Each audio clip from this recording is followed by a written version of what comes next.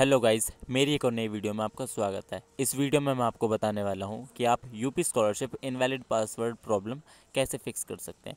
उसके लिए आपको वीडियो को पूरा देखना पड़ेगा विदाउट स्किप किए। अगर आपको वीडियो पसंद आती है तो वीडियो को लाइक करके चैनल को सब्सक्राइब कर देना और बेलाइकन को ऑल पे सेट कर देना, ताकि ऐसी इंफॉर्मेटिव वीडियोज़ आप मिस ना कर पाएँ। तो जब हम यूपी स्कॉलरशिप का फॉर्म फिल करते हैं, चाहे वो रिन्यूअल का हो, चाहे वो फ्रेश का हो तो हमें काफ़ी सारी प्रॉब्लम्स देखने को मिलती हैं। तो हमारे सामने जो वे प्रॉब्लम आ रही हैं, हम इन्हें कैसे फिक्स कर सकते हैं?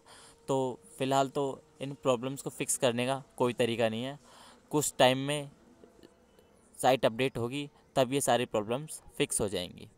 अगर आपको डिजी लॉकर से वेरिफिकेशन करने में कोई प्रॉब्लम आ रही है तो इस वीडियो को देखें, इसका लिंक मैंने डिस्क्रिप्शन में दे दिया है। Thanks for watching.